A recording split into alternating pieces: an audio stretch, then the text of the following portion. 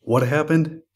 All right, so I'm standing in a puddle of sticky epoxy in a garage in my sneakers Ooh. trying to finish rolling it out while the customer standing at the doorway staring at me and I'm slipping and sliding all over the garage.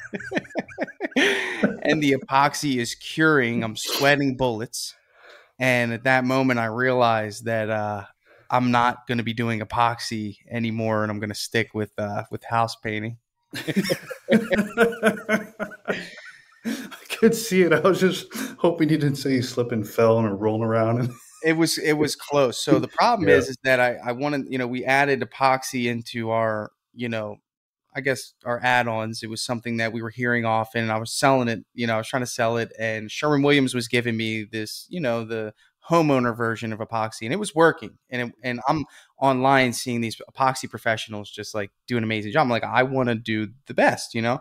So I go online and I find this 100% solids epoxy, and I'm like, okay, I'm going to figure this out. And in the ad they had for it, it's this mom, you know, squeegeeing it. And of course, like she's probably got 10 people like guiding her. But in the video, I'm like, okay, she's doing it. I can do it. And I watched the video a hundred times. They just make it look so easy. So I'm, I'm thinking, okay, I'm going to go and do this. I had one crew at the time and they're painting houses. I am going to go and do this epoxy job myself because I'm like, this is a great way for me to. I didn't have a bunch of estimates. I'm like, I'm going to make some good money here. I'm going to go and knock out this right? three thousand dollar epoxy job. So in my brain, I'm thinking I could do this by myself. I didn't have a helper, so I had no one that was there gonna that was gonna cut, and I knew that the pot life was 30 minutes. This is just how ignorant I was to this process. I don't know what I was thinking, but so I get this kit. I rehearsed it a hundred times in my head how I'm going to do it.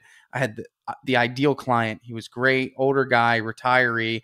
This was a two and a half car garage. So we're looking at probably 650 square feet of of coverage, right? But I'm thinking because I'm squeegeeing it, this is going to just apply like butter. It's you know this is fine. So here's the mistake I made. I sanded it because that's I, I did call and ask if I could sand it because I didn't mm. have a grinder. They said, yeah, you can sand it. You know, make sure that you sand the oil spots really hard. It should be fine. So I'm like, fine, okay.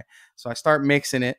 And the night, the night, not the night before, the week before, I ordered some of the spikes that you need to, you know, Walk walk on the epoxy. Yeah. I've never done this before, and I've never seen anyone do this, Steve. But I Mhm. bought these spikes because it said I needed them. So I go They look Amazon. I buy too, right? Yeah, they're cool. And I'm thinking that because you look at the videos, you're like, how are they standing on it? But they have these little things on the bottom of their feet, the spikes.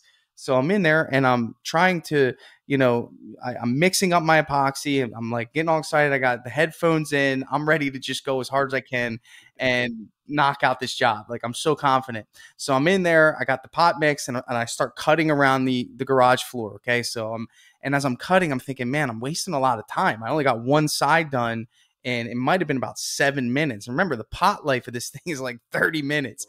I still got to cut the rest of this. For some reason, it was just dragging on the floor. It was kind of thick, and I'm like, man, I'm trying to lay this thing in. So so I'm kind of already freaking out a little bit. So anyway, I get through the cutting and it gives me like 10 minutes to squeegee this whole floor. Now I'm starting to kind of panic a little bit, but I'm like, I got this. I got my shoes on. I'm ready to rock. So Steve, I'm squeegeeing this thing and I look down and there's a bolt on the floor in my epoxy and I'm like, what is that little nut? Like picture like a little tiny like, you know, like nut, like a little, little screw nut or whatever. I'm like, what the heck is that? And it's coated in epoxy. I'm like, did I not pick that up? Like, is that his that I just didn't sweep or blow? So I'm like, all right, that's weird. So I'm still squeegeeing and, and the guy's checking on me. I'm, I'm good. I'm good. Yeah, come on out. I want to surprise you. So he goes away. I'm like, I'm, let me just surprise this guy or tell him he's, you know, he's like, all right, I'll come out. He's like, you okay? Are you doing this by yourself? Oh my God, there's no worse question you've Mhm. ever been in that position for. Anyway, so um, I see another bolt on the ground, Steve. I'm like, "W- w- this is getting weird. Why is why am I missing all these? Like, what's going on? And then another bolt and another bolt, and I start picking them up and putting them in my pocket. Mind you, they're full of epoxy. So now I'm starting to make a mess. They're going in my pocket with epoxy on. And I realized that the shoes that I purchased were just crap. The bolts that are holding in the spike were falling off of these shoes. So now I'm freaking out because I can't even squeegee. I pot life. I got five minutes left. So I'm trying to think, what am I going to do? What am I going to do? So I rip off these spikes. Now I'm in my sneakers and, and I'm squeegeeing the floor. And this guy is looking at me like, what is, I'm sweating. I had to like throw yeah. the spikes like epoxy gun on his driveway and he had this nice rock bed outside this is a nice neighborhood oh. and you just see gray epoxy over all these rocks because i had to keep throwing things because i couldn't step right so yeah, you know that yeah. outside of the garage you have the the concrete mm-hmm. and you would think that I would put paper out there to walk on. Just again, this is my beginning stages of being a contractor. and uh, long story short, it never cured. So I got it all laid out, and I'm thinking, wow, I did it. I think I even threw some flakes. I don't even know what was going on, and uh, it never cured. He called me three weeks later and said, "This this floor is just still tacky and it, and it's and it's gummy." And uh, it never cured. Three weeks later three weeks later. Yeah. And oh he was just, God. he was a nice man. He was yeah. very open. And then just to bring this full circle, he, uh, he said, listen, you're, so I would, I went over there, I applied mm-hmm. some, you know, something to strip it. I had my guys over there were scraping gummy epoxy. I mean, we probably got 75% of it up mm-hmm. and then it just wasn't there and you couldn't grind it because it was still gummy. So he winded up buying floor tiles and he said, look, if you pay for these floor tiles, you know, we'll call it even and you know, I'll just do floor tiles. that is my uh, my crazy story. So anytime I hear epoxy, I just like cringe a little bit. oh my goodness! So I'm with you because we come from near the same area, and we tried epoxy too. I won't get into my stories, but we were we were hard no on on after a couple of experiences. Yeah, of, yeah, yeah. they were not in our three Ps. So. No, yeah, that's it. right. Well, Today's guest is from Ocala, Florida. Fun fact Ocala is where uh, we love to go jeeping in the wildlife management areas up there. It's about two and a half hours north of Venice, right up the uh, the beach line there. He's one of the uh, earliest members and came up through DYB. He owns and operates Premium Painting as well as the robust CRM estimating platform specific for the painting industry, DripJobs. Tanner Mullen, welcome to the show, my friend happy to be here. Always been a fan and happy to be a guest. Thank you. Appreciate that. Well, take us back. That was an awesome story, an awesome origin story there, and we've all got them. Take us back to the beginning. How'd you get into the painting business, or moreover, what were you doing before you got into the painting business, and why did oh, you choose painting? There's a funny uh, saying I like to say is that the painting you don't choose the painting business, the painting business chooses you, right? I mean, we're all somehow organically uh, introduced to this trade, which is it's a it's an amazing trade, and my journey is nothing short of uh, just chance and, and again just being inherited into it. So the origin is is that my father's stepfather had a painting business, um, and my father early on he would work with him, taught him the trade, and that became my dad's profession. So in about 2006, we moved to Florida. Um, and not the bad part of 2006, the great part of 2006 it was you know the economy was incredible. My dad got a job as a supervisor at one of the largest painting companies here, which they're still in business. He was a supervisor for them. They do mostly new construction. So during that time, uh, during that time for me, um, I had you know seen him you know get up and go to work each day, and um, he winded up kind of trying to do his own thing. So he was that guy who was a one man army, and I'm 13 at the time, and he would wake me up six in the morning uh, in the summer, and I would go to work with him, and I loved it because we were working in those retiree neighborhoods. You know, Steve. You oh yeah. Oh, yeah. Probably work for more retirees than anyone in the country. Um, so you know, we loved working for them. It was really cool. It was just him and me. I would do all the taping, um, and I do some rolling. But at 13 years old, it was good money. It was sixty dollars a day. I was able to save up for an Xbox. Um, so you know, I really enjoyed it during that time. And um, but I never thought of it as something that I would do, even though my mom always said, "Hey, you want to make sure you learn that trade. It's a great trade." She knew what you know the opportunity was, but it was still him on his own, and I could see how hard he was working. I was like, man, I'll never want to do this, you know, full time. So I wanted to be a sports agent or one of those flashy, um, you know, uh, careers. And I was in high school thinking about it, and then um, I just worked my way up. I found my way into the restaurant industry. You ever, you ever do any restaurant stuff, Steve? when I was 15, I washed dishes for a um, uh, Chinese restaurant for three months, and I've not fun uh, fun aside. I've never eaten Asian food since, and I'll just leave it at that. that was my. So you know what goes on. Um, so yeah, I mean, I I thought that was my path though. I started off as a busboy um, and then worked my way up to a server uh, as a waiter, and then uh, found my uh, found an opportunity as an assistant manager of a restaurant, then a general manager at the restaurant by the age of 20. So I'm 20 years old managing uh, a business, and it was really cool because I really started to understand how business worked, just you know, marketing and sales and customer service. So I had so much experience um, in that regard. But I started looking at it like, man, like my time is gone. Like I'm getting home at three in the morning, you know, after doing everything, closing out the restaurant, and then waking up at two and then having to go in again. And it was just like this cycle that I was just like, oh, I hate it. So a friend of mine had gotten a job selling cars. And uh, he used to come into this restaurant a lot. It was kind of like a kind of like a night scene too, a little bit. It was a really cool place downtown Gainesville, and um, it was really cool because we had a uh, you know we had an opportunity to um, connect with him a lot, and he was sharing how how happy he was selling cars. And I'm like, man, you know, I love sales. I think it'd be really fun for me to do that. Um, and I went ahead and uh, quit my job and applied. And on his recommendation, I got the job working at Toyota. So this was my grand, uh, you know, I would say introduction to sales because the psychology behind what they teach you there is just so interesting. Like overcoming objection, like that is something that for me, unless you actually really experience it um, and see people change their mind in a blink of an eye due to whatever you know word track you use or whatever value you build, um, you know, I could see why some don't try to go for objections. They kind of just you know just take it for face value. But when you're in car sales, you really don't have a choice. They want you to maximize those opportunities.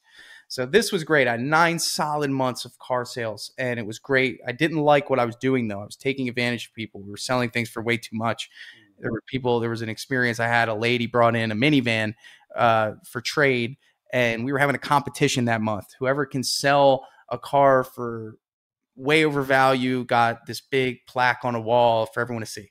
So, you know, me being a hungry 21 year old, I'm like, oh, I'm going to do it, you know, and you're just in that environment. And uh, the lady brought in this van and she wanted a better van for her husband who was handicapped.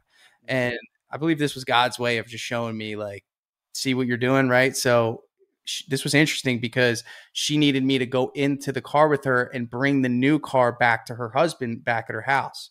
And I'm like, great, let's do it. You know, again, really just focusing on getting a sale, not really having the, the, mindset I do today. And I went back in that car with her and we drove to her house and I saw her house and the conditions they were living in and how hard it was for him to maneuver. And they were just beautiful people and got him in the van and he really liked it. So I'm like, all right, you know, let's get back and, you know, get the paperwork signed. Like, oh, it's just like a terrible car salesman. Anyway, I go back and you know we winded up selling this car for like thirteen thousand dollars more uh, than what it was worth.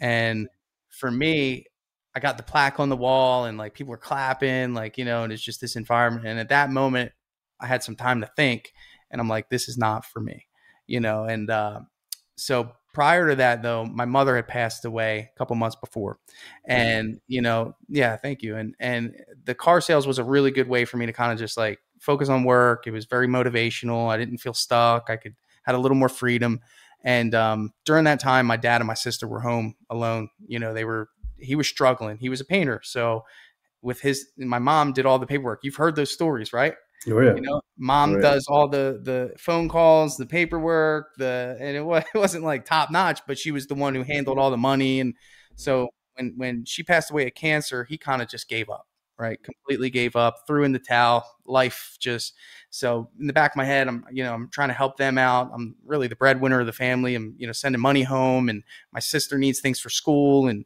you know I'm just you know in a really tough position. But I had to quit that job because it was the money was not worth my you know my character.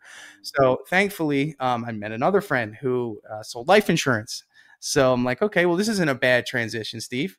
Right? I can go into life insurance. I can, uh, you know, I'm free as a bird. You know, I don't have to be locked down to a, a place, and I feel like I'm helping people. I'm giving them life insurance. Right? Wrong. I'm only selling final expense. So essentially, I'm going in there, pretty much pitching death and saying, hey, look, know, in Florida, in know? Florida context, in Florida.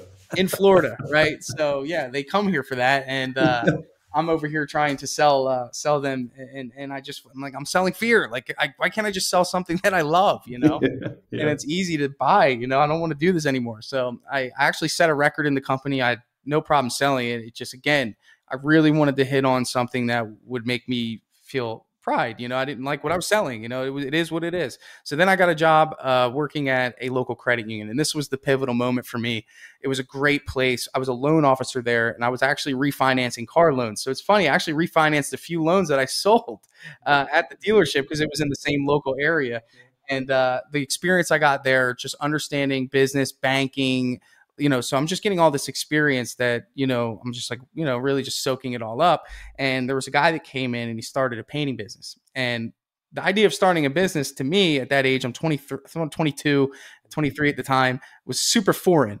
You know, I'm like, oh man, I got to do all this. All the questions that we get, Steve, you know, oh, mm-hmm. I got to, you know, LLC and all this. And, but this guy came in, he didn't know much, but he set up a business bank account. He's like, hey, I'm starting a painting business. And again, God just putting people in my path to help mm-hmm. me like open up my eyes. And I'm thinking, man, like that would be a great idea for me to do to, to help my dad. You know, that's really the only reason why I'm like, I'm making great money here. I'm making 80,000 a year.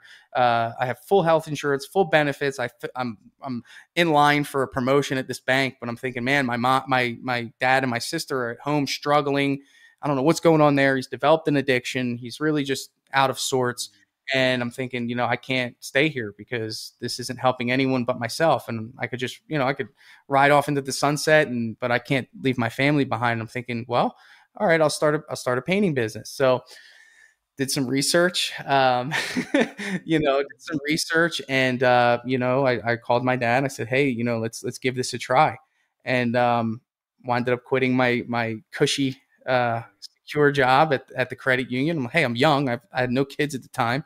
So if there was ever a time to do it, it's now. Wound mm-hmm. up leaving my college town, my one bedroom, awesome apartment. When wound up moving back in with my dad and my sister um, to help them, and that was the foundation of what premium painting is. And mm-hmm. uh, you know, there's much more that happened along the lines, and and it wasn't as easy as I thought it would have been. But that's the origin story. That's how I got mm-hmm. into this, and uh, and I fell in love with it. That's awesome. Now, what year was this? Uh, so 2016 16. was when. Yep, okay. that was when I quit my job. 2016. Mm-hmm. Yep, 2016, okay. and we're now celebrating almost seven years in in business as premium painting. Seven years. Fantastic. Well done. Now, describe. Uh, you're welcome. Describe uh, what's the business look like currently. Yeah. So numbers wise, we're on pace for 1.4 million. Um, I have 10 employees. Um, we operate on the employee model. So initially I started with the independent contractor thing. That didn't last long. Actually, when I stumbled across your um, your stuff, DYB, and I joined in, one of the biggest takeaways was the hiring process. That really, I mean, I attribute almost every one of my hires to your hiring process. Uh, and it's a matter of just the filtering out was what I was missing. And I think that's what what changed me from independent contractor to employee was independent contractor was like, hey, do you know someone that paints? you know, yeah, yeah. employee is, hey, I'm going to choose. Someone's like, I always refer when I talk to people and help people in, in this industry, I say, this is just like dating. Would you just ask someone, hey, do you know someone that's single? You know, yeah. or do you actually, you know, nowadays with online dating, it's very comparable because we're putting out an ad, we're, you know, beefing up our profile, we're getting people excited, and then we get responses and we filter through those responses. So um, so yeah, so we, are an employee-based system, and you've heard my story. We've been through all sorts of different things. Right now, we we we only do interior and exterior painting. That's it. I will not take anything weird. No outside. you know, if it's, I, I, rarely take wood repair. It yeah. is like, hey, get a handyman. Let me know when it's done. And we'll paint it for you. You know, you so. Go. That's how the business has grown up into this point. My role in the business has changed due to COVID. So uh, before COVID, I was doing all sorts of estimates. And around that time, I just had a newborn child. And my wife was like, You are not going into homes and, you know, risking mm. our kid getting COVID. Yeah. I'm like, Oh man, what do we do? So I just transitioned everything to virtual estimating, which was perfect because at that time, the customers were happy. They're like, Oh, really? Yeah. You can quote this without having to come over? Because they were feeling the same way. I'm like, Yeah, no problem. So we actually started doing all the estimates virtually. Now, we obviously don't do that anymore because I still feel like you're missing a large piece of value by being in the home, but I was able to create an estimator role that I otherwise probably wouldn't have created. And his job is to go there, take all the measurements, take all the pictures, meet the customer, tell them about our company. And then what he does is uploads all that for us and then send the estimate out from the office. So my role is really just estimating from the office, you know, team, you know, uh, management and uh, scheduling at this point. So all the all the jobs are are independently ran, which is really helpful. That's awesome. Uh, very cool. And it's interesting too how these uh, solutions, these opportunities come from constraints. Right? Agreed. Yeah. yeah. Don't ever let a good crisis go to waste. That's right. yeah. Oh man. So where where does your drive come from? Yeah. Oh man. Ever since I was a kid, you know, just being in poverty, man. Just struggling, seeing my parents struggle, seeing them argue. Um, not had. There was a time period. I, I think I was, I was nine years old. We had no money and my mom was like, well, you know, we know there's a local pizzeria. And I remember her on the phone calling that pizzeria, asking if they can send us a free pizza because we had no money. And there were so many instances like that mm-hmm. electric getting shut off, me having to go stay at a friend's house, um, just lack of finances early on. And my drive is not to make money, it's to not have to worry about money you know yes, so for yeah. me as much and, and it and it can be a demise you know sometimes i i have this deep scarcity mindset, real deep inside that comes out every now and again, you know, because just my childhood was full of it. I mean, 18, almost 18 years, not being able to go to field trips, not being able to get my hair cut, not being all these things that, you know, a kid goes through and kind of feel like an outcast. My drive is that I never want to experience that again because it was so painful. Um, and I don't want my, of course, my kids now. My now I have kids. It's like that doubled. You know, it's like yeah. not only am I not going to experience it, mm-hmm. and my kids aren't going to experience it. Um, and then as of course I got, you know, i am married, and um, you know, I've been able to really help my wife, and you know, so that's where my drive comes from. It's, right it's uh, you know, yeah. a little bit of fear based, but also just now it's now it's transitioning to uh, to power, which is fun mm-hmm. in a good way. You know, being yeah, able right. to do things that you want to do. Yep, that's awesome. Uh, I can certainly relate.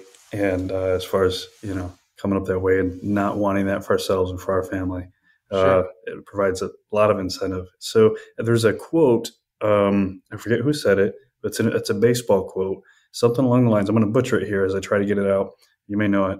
It says, "There are no rich men's kids in the big leagues." That's right? very true. Yeah, yeah, I love that. They, they don't have the drive for it they don't have the drive. You've got yeah, to be, uh, as Les Brown used to say when you travel, you got to be hungry. You know. Oh man, love Les. Yeah, yeah got to be hungry, man. Got to be and, hungry. yeah, that's how he says it too. He was lights out, man, when he was younger. Like he oh. was, you know, if you've listened, I'm sure now that you've referenced him, yeah, he was good. But you know, it, it was. uh I was thinking about it yesterday. I'm grateful for it all because I would not have had this drive. This drive is so and and it's and it's helped me so much you know just when i went to work for people I was going as if I was the business owner. Like I would, I would just, uh, you know, I would work in a way that I would always be recognized for the consistency and the care. And what's great about that is, is that I am now the business owner. So it's almost like I earned that. And I tell my employees that, you know, of course we have employees that want to own their own business one day. And for me, I love when they tell me that. I say that's great news because guess what? Now I'm going to hold you to the standard as if you are a business owner and you should be treating my business as if you're a business owner within my business. So when it's your turn to own a business, you don't have to rely on learning the traits that you need to be a business owner. You can learn them right here. There you go. Right. yeah. and, and that's the right attitude. That's what being a cooperative capitalist is all about because – there's uh, you know scarcity could come in and say, "Oh no, you're fired. You're not going to become my competition." Right. Um, but no, that's that's the right uh, mindset. And even when they do go out, what I found, and uh, maybe you already have, is uh, they go out there and they just say, "You know what? It's just not worth all that. I'd rather, you know, would you have me back?" And when they come I've, back, they are the absolute best, best. leads. Yeah. I, yeah, and I've I've had people that have to just see what it's like, you know, and they have a different respect for uh, you know, even even guys that haven't done that with me, there's guys that have tried it, and they come in and are like, "Yeah, I've yeah, I'm not going to be doing that again." And some yeah, people want it, yeah. some people don't. I tell my guys, "Look, the benefit of being an employee is you get to shut off at five o'clock." You know, I don't have a show. We're always we're always on. Wake up in the middle yeah. night, use the bathroom. We're thinking. yeah, yeah. What's a uh, paradigm shift? So as as you got started and uh, still here with the painting company, and, and you're building the painting company. What were some paradigm shifts for you along the way? Well, the biggest paradigm shift was, you know, I had to get out of the way. You know, that was one. You know, early on in my business, I didn't know anything about creating a business and not painting. You know, that wasn't the mindset. It was, hey, I'm going to go paint and make some money. You know, um, so that was the biggest one, and that's the first one. Is just really understanding that my first responsibility is to optimize a team. You know, mm-hmm. and getting getting people to do things that I think that I have to do, and that's as simple as I can put it. You know, mm-hmm. in other words, something as simple as picking up the paint in the morning. When I delegated that to someone, I've never, I haven't picked up paint in five years you know, or six years. And I only do it mm. if I'm in the area and they need a gallon and I'm coming to the job anyway, you know, but something as simple as that. So delegating and uh, uh, that would be the first one is, you know, learning how to delegate responsibility. Would there be interactions early on in my business I'd have with customers and I'd say, Hey, Colton is actually the project manager. You know, I would just like let him hear that, mm-hmm. make that known to the customer. And then anyone around him would know he's the project manager. Ask him even though I knew the mm-hmm. answer, even to the customer, even not, you know, so having that discipline early on was big. But then the, the second paradigm shift, which I am very good at now, which I was not good at, was getting the wrong people out and and separating emotion. I love people. I care about people. I brought you into this world. So most of this is my fault anyway. But because of the fact that you're not meeting our standard and you're not in line with, you know, where we're trying to go, I have to let you go. And that was not easy. I would keep people around so long just because two reasons. It was comfortable and. I had too much too much so my friend to boss ratio was out of out of whack. Mm-hmm. And I learned that in the restaurant industry because as a manager in the restaurant industry, everyone wants to go hang out and you become this friend and I'm like, man, I can't really discipline you if we just hung out. You know, like yeah. it's really weird, right? And then, you know, you won't invite me out the next time. It was such a weird dynamic. So now that's another thing in my business. Like I love my guys, but it's very rare that we spend any time outside of work unless it's company organized or like something cool like that. And that's just to number one, create a good, healthy balance. And I'm not saying we can't, you know, just there's just certain thing that I have, you know, and I just want to make sure that it remains professional because I look at my guys sometimes I'm like any one of you guys could be the next one that I have to make a tough decision about if you don't you know keep the standard high you know, because one person's downfall could mean a bad, you know, review or, you know, or jobs get behind. So that that was the big paradigm shift for me. Is just separating friendship and business and making tough decisions when it comes to hiring and firing. So great point. What would you say?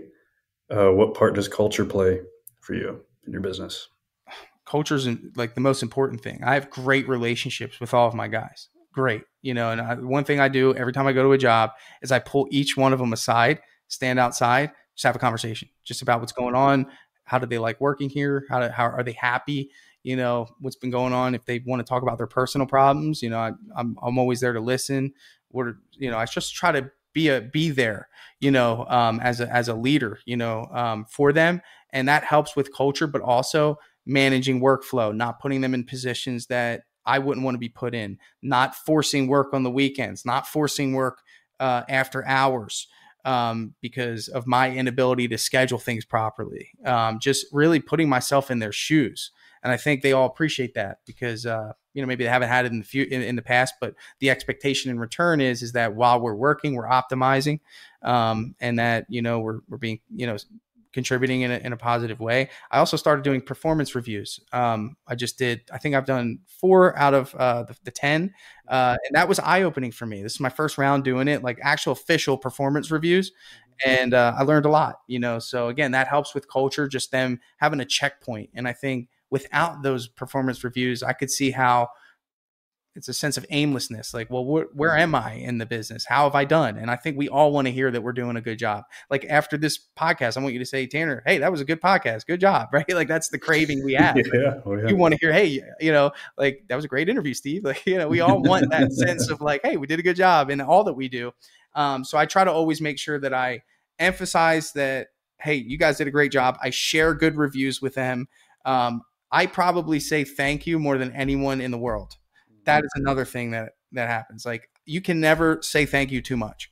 It's like the cheapest form of currency, and I overuse it like you wouldn't believe. I am I withdraw overdraft my thank you account big time. Can't um, out thank you. yeah, yeah, just, you know, so and, hey, hey, can you go pick that up? Thank you. you know. Mm-hmm, mm-hmm. so I, you know that's kind of how I've done it. I don't know if it's right or wrong, but it's worked for me. I have guys that've been with me for years. They treat if you look at our reviews, the the reviews say the crew, the crew, the crew, the crew, the team, the team, the team, the team, and it's like what I found is that through that, um, you know, I would say through that energy that I give them, it translates directly to the customers. Right on. What are some books that have made an impact on you? Two books that come to mind. Um, Rich Dad Poor Dad was mm. actually I read that in the car dealership.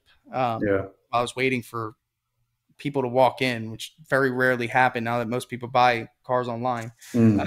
so I had plenty of time to read that. That was that was pivotal. A couple takeaways from that were just understanding um, financial freedom. You know, mm. that was important. Just understanding the difference between you know working for a dollar and letting a dollar work for you. Um, and then the E Myth was good as well, which I'm sure you've read. Um, for me, the E Myth was. Uh, you know, just just an eye opener. You got the girl in the pie shop, you know, and uh, the story, and just saying, "Hey, and you know what?" sad, and she reached for my hand. Yeah, like, "Come on, Michael, let's get to the." it, no, it was, uh, you know, the technician mentality was like, "Hey, you cannot run a business that way." So he hit on a really solid topic. Another one was the compound effect. Now that's not so much business, but the compound effect was really good for me to help me see the micro uh, you know, the micro actions and decisions that add up. And I still try to apply some of those things in my life today, even though I've read that book five years ago. Those are the three that right off the bat um, stick out to me the most.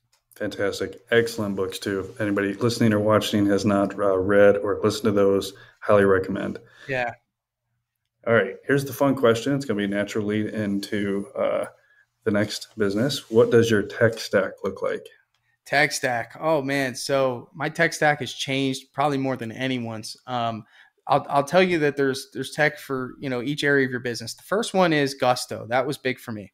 Um, I would have paychecks or I'd have ADP, and I'm sure they've adjusted to this model. But Gusto was really cool because it's all self serve.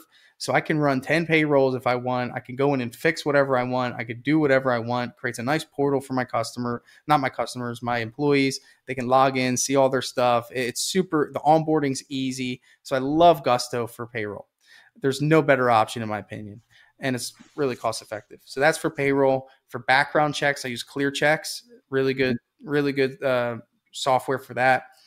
Photo sharing. I love CompanyCam. Besides DripJobs, CompanyCam is my favorite app. It's awesome. Organizes all the photos, checklists, really solid app. Um, I you know talk with the CEO and he's got a really great vision for what he's building over there. And DripJobs organ, uh, integrates with it really well.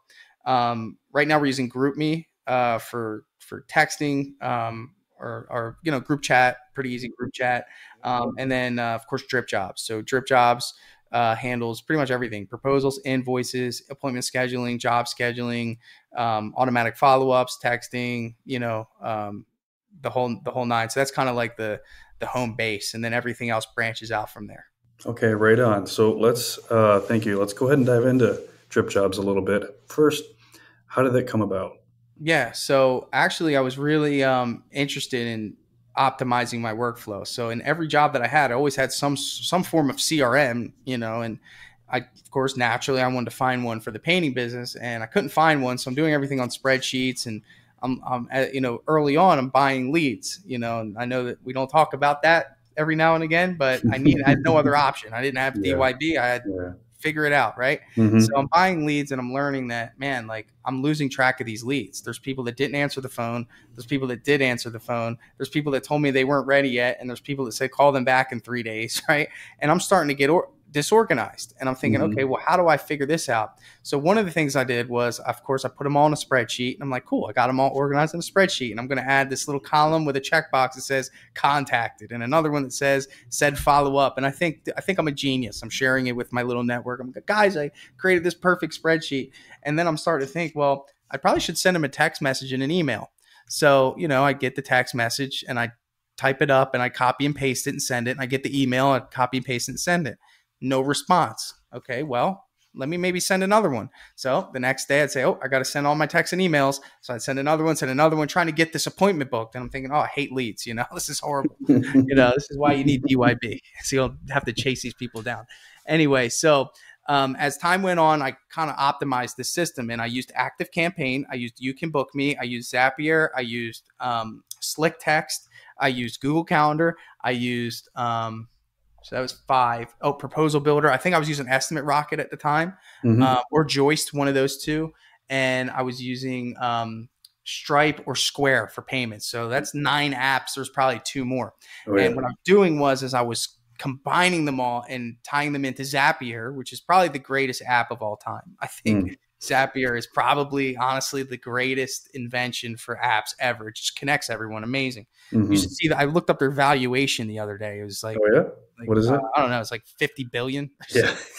like, like insane. Anyway, so so anyway, so I'm so I'm like, oh my god. I, again, I think I just like like discovered fire because what I did was is I found out that uh, HomeAdvisor at the time had an open API and you can zap in the lead to whatever you want. So I would zap in the lead to ActiveCampaign, and inside of ActiveCampaign, I created a follow up sequence, text and email.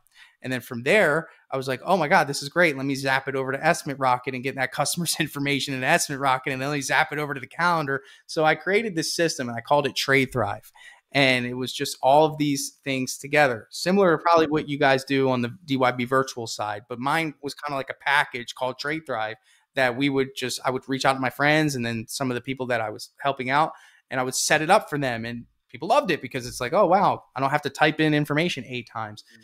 Because of that i knew that there was a need for something custom right? So during covid I was on Instagram and I'm just looking for some reason I was looking at my followers just one random day. And I see this company it's like a software development company. I'm like hey this is cool. Let me go check out what they have. And they had actually an invoicing and I think they had like a, a project management app for trades. Mm-hmm. so my thought was okay I'm looking for something better than what I have. Maybe I can white label what they have and just tie it into my automations. I'm like, this would be even better because it has like some scheduling and it's kind of designed for contractors. So I reached out to them on a phone call, said, Hey, I do this. I would love to see if I can white label your software. They're like, all right, well, let's get together on a call. And I get on a call. And I'm like, okay, but can we do this? And can we do this? And go them. All excited. like, Tanner, no, that's a custom software. We can build you that, but you know, you're going to have to pay for it. So this is right in the middle of COVID. I don't even know if my painting business is going to survive, but when you have a vision and no one can stop you, I'm like, I know this is going to work. Like people need this. Like this is going to change the the landscape of you know painting businesses forever. You know, and uh, so I invested way too much money, and uh, um, that was with the, my wife's blessing. It's more money than I've ever spent in my life on anything uh, to get this thing going. I knew nothing about software. I knew no, I in retrospect, I didn't even know what I was getting I just knew that hey, I gave them a wireframe. I gave them with I gave them a 50 page document. I spent three nights typing up everything I wanted, and I said, "This is what I want." They gave me a price for it. So that's how DripJobs was born, um, which is a custom software, top to bottom. There's nothing uh, spin, spun off about it. And at this time, to give some context, full circle, um, we have eight full time employees. We have five full time developers. We have a customer success uh, representative uh, support. We have a account executive who handles all the sales and demos, and we have a sales development representative who does outbound calling all day. Um, and it's uh, it's really taking off. It's a, it's a great program. That is awesome. That is really cool. Well well done indeed. You, and uh, you gave April and I a tour uh, what a week or two ago, and we were really impressed. I'm yeah. really impressed with what you've done. The uh, some you know features that stand out are the, that it's a pipe driven CRM uh, but the other side of that, and this is something that's lacking in most CRM, is the uh, revenue source reports and lead source reports by revenue. So important, right? So important. if you don't know where you're making your money, how, how, what are you going to, you know, how, what do you know to double down on? And what do you know to cut loose? Yeah, and you need a full circle software to be able to perform that. You need to know where the, and that's why we require lead source on everything. Like at the very least, they'll pick something, but most people we find choose it because I'll double back every now and again and say, you know, if I meet them, how'd you hear about us? And I just cop, I'm just check, make sure they pick the right one. Yeah. you know, but yeah, it's, it's so important. If you don't yeah. have something that takes in the lead and then invoices at the end to, to capture that, that dollar amount, then uh, but yeah, you're absolutely right. Very important metric. Mm-hmm. April and I had, uh, you know, we've got a running joke story back in the days, you know, when she first came on and we were still, we were, you know, trying to make our way out of startup season and she'd get excited about a new lead. They'd call in, she'd call me and I'd be on the road or whatever. And I'd, I'd have to interrupt her. I'm like, source, what's the source? Where they come from? Yeah. yeah. I love that. You know, and so she jokes around. She's like, okay, okay. Yeah. Yeah. It's rotary or whatever it might be. You know? Yeah. Yeah. Yeah. okay. Yeah great news. All right, yeah. now, now give me the rest of the information. no, but nothing's more exciting than knowing that, like, for example, I did an ad in uh, this retirement company or retirement mm-hmm. community. And one of the cool things I did, and I don't know um, if you've ever done this, you ever take out an ad in a retirement community, one of their books? Like, you ever do that? No. no. Mm-hmm. So so I look through their book, Steve, mm-hmm. and I'm looking at it. It's like they have all the fun stuff in the first half of the book, and on the second half of the book, it's just ads. It's just like yeah, it's just yeah. ads. So you know what? I'm like, I'm gonna take a full page ad out, but on half of the page, these are retirees. I'm gonna put a crossword puzzle. So it gives them something. To That's awesome. yeah. So on the bottom half of the page was a crossword puzzle, and at the top it was my ad, and we've generated twenty thousand dollars so far, and that ad started in April. And again, source, you know, and it's like I got you from the booklet, and I, I'm like, it's got to be the crossword puzzle. That was it. Yeah, that's brilliant. yeah, yeah. Because I looked at it, I'm like, if I'm an older person, you know, and they love doing those things still, you know, and I'm like, so I looked online, I looked up crossword puzzle generator, and it was like parts of your house, you know, and uh, that was it. So. Oh my goodness! And so they're on that thing for like an hour or so. I don't know how large it is, and but then they look up and they see yeah. a picture of eight guys in uniforms. Yeah. Hey, need your house painted? oh man, that's brilliant. Yeah. Well done. Thank you. Uh, well done indeed. Walk us through real quick uh, uh, DripJobs. So go ahead and give us like, um, yeah, go ahead and give us an overview if you would, just so I mean, we've talked yeah. about it, but Ele- elevator pitch would be simple. You have leads and customers. It's not just for leads. You know, these are for your customers too. Leads is just really like one. If I had to break it down in tenths, the lead nurturing is just like one tenth of what it does. Um, that's just one stage. So in your business, you have eleven stages and that's an understatement. I have people that add stages, but eh, naturally there's 11 stages that a customer will go through if they decide to buy with you. 10 if it, uh, let's say 10. First one is a cold lead. So let's say that comes in from a lead source and it doesn't have to be Angie or HomeAdvisor or Thumbtack. This could be uh, Google or Facebook, right? Maybe you have a landing page and they go in, they put in their name, their email and a phone number, right? That's a cold lead. You have to reach out to them.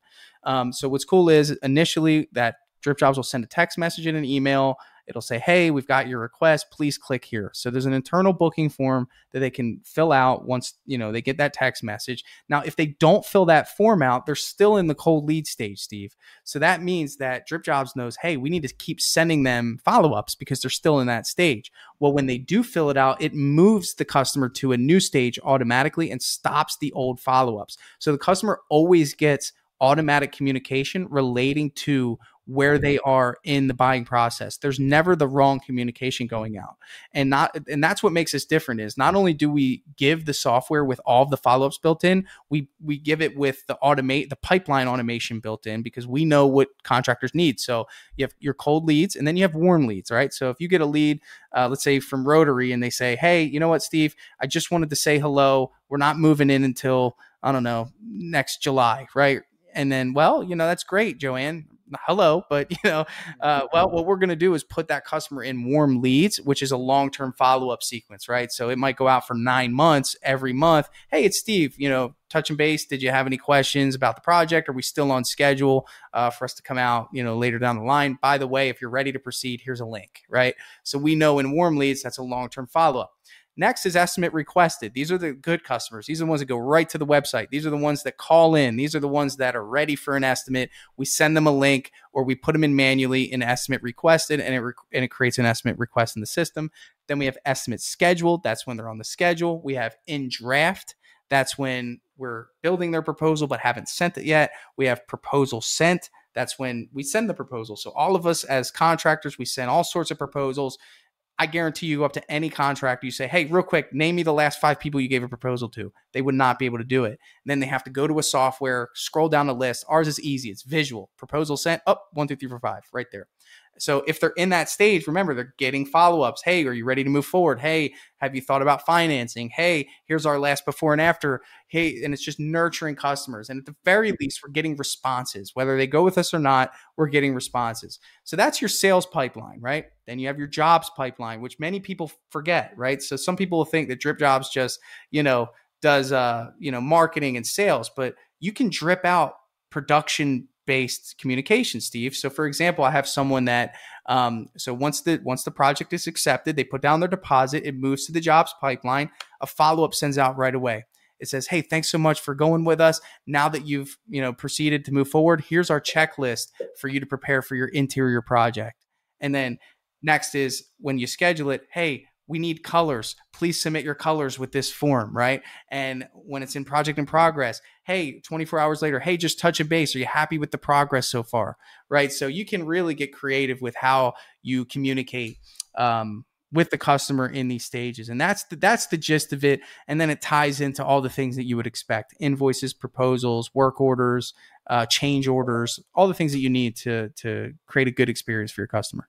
Yeah, so it's estimating to the uh, the CRM production rate estimating. Yeah. Yep. So mm-hmm. we actually, yep. as of right now, I just got the final review. So we are uh, prepared to launch that within two weeks. So we'll have hey, a full. Hey. Scale. I know that's been that was been fun. um, yeah. uh, production rate estimating inside of there, which is 100 percent necessary. It should be the industry standard. I just don't mm-hmm. think anyone's made it easy enough um, okay. to do. That's my personal opinion on it mm-hmm. in terms of just speed, efficiency, mm-hmm. you know, um, oh, yeah. and flexibility because. Yeah every job is different. I had someone come to me and say, Tanner, there's software that I'm using, but um, there it doesn't allow me to change the spread rate on a per substrate basis. And I'm like, well, that doesn't make sense because if we go on stucco, you know, that's we're going to use you know more paint than if we were painting a flat wall. Yeah. You know, so yeah. Uh, yeah. just things like that. So we try to take all the feedback and create something really easy.